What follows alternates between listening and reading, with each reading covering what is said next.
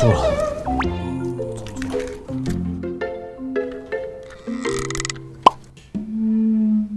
呃，我不小心嘴贱抿了一下唇。没事没事，我给你缝。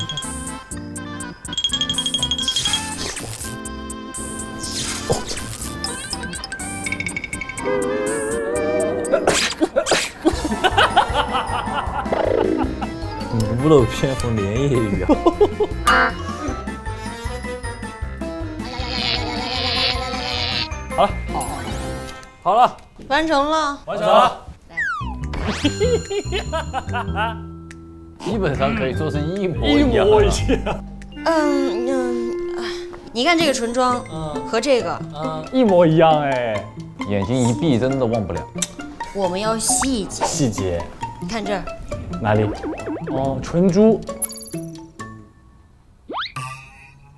这是什么颜色？绿色。绿色。绿色。你要是这样不分颜色的话，我就跟金姐说，我说哎呀，直接提高点薪资，招个新人来得了。深绿色。这儿灰色。拿好了，我拿不好，你拿。是不是？这儿，哎，细节的地方。啊，我补看补上。那给你补上。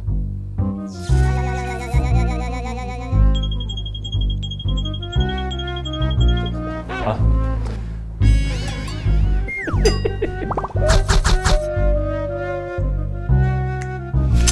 完美。完美。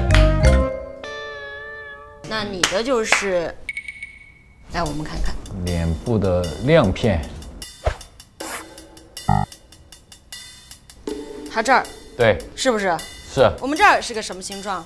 是一个很难描述的形状。它有几颗？它其实用到了很多颗，那我们头头头上呢？但是其实我觉得作为一位化妆师来讲，最重要的不是照照本宣科，是有自己的想法。因人而异。不同的模特呢，他擅长和适应不同的妆法。因为醒哥的面部折叠度已经很高了，而且他脸部上呢有很多他自己的标志性的自己的特色，让他保留原来的韵味，同时凸显他原本本身容貌的高光。哎呀，我觉得你很适合来我们美容院做那个差评删除师哈，怎么讲？比做化妆师还厉害呢。不愧是我们美容院出来的，来。对于一名艺术家来说，当自己的作品完成的那一刹那，呃，作品的解释权就被剥夺了啊。其实给到观众，我想看黄子自己和观众朋友们对这个妆容满不满意。那这位顾客，你满意吗？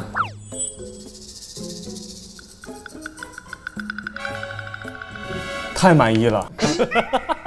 我就有点不满意，就是手还是抖了。嗯，我觉得我可以画得更好，就是对于这个色彩的一些搭配啊，包括它这个唇妆的一些颜色这种构思，我就是今天这个手还是限制了我的发挥。如果说我的手完全能够解放出来很稳的话，我可以在这个原有的图片上再给它上升一个档次。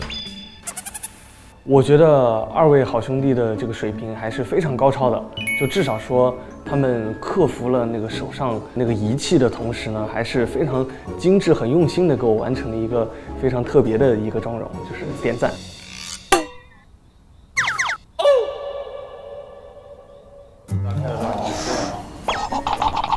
现在是锤击感，你要不要试一下这个？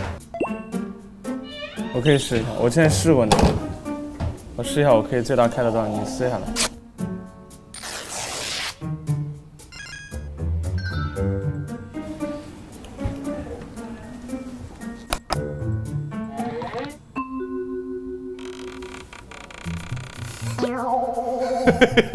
一档，一档，啊！等一下，等一下，是不是抽筋了？啊！等一下，等一下，这个位置换一下。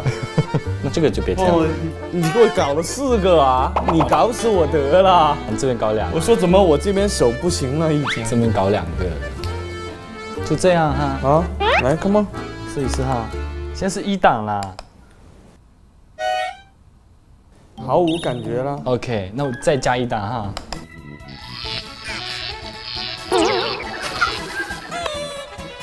哈哈哈。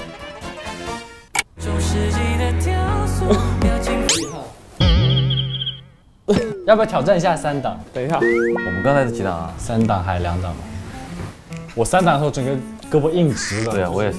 弯不了，因为他开第一档的时候还好，就是我手指会不不自停的抽搐，然后第二档的时候就已经有那种就是麻痹抽抽筋的感觉。他第三档一开，我整个手指就直了，我就是弯不起来了。我可以做到完全完全。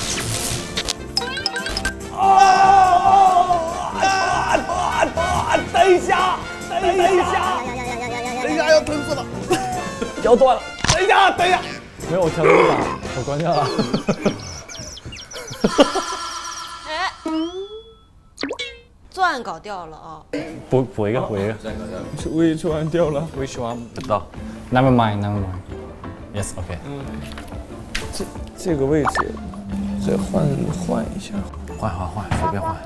你自己来控制一下，哇，这个太恐怖了，太 crazy 了哈，很顶啊！这太顶了。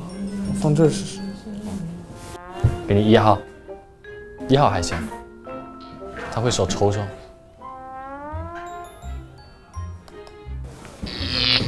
好累。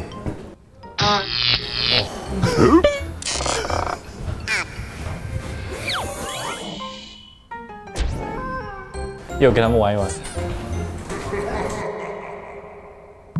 哎，你看你那个卡不进去了，差不多就这样，差不多。这都是一些什么小块儿啊？这些他咋搁这儿挡腿了？嗯他腿腿又不管我们只管牙，我们只管头，对我们弄头那是，咦，恁可聪明啊！那必须以前学过。那都是 doctor，无师自通。正经 doctor。刀客塔没听说过吗？是他代号。中，恁确实可以啊。这都是些啥。你这个先连接这个吧？哎哎哎看看看连接这个的吧？看我们这个中不中？中，对。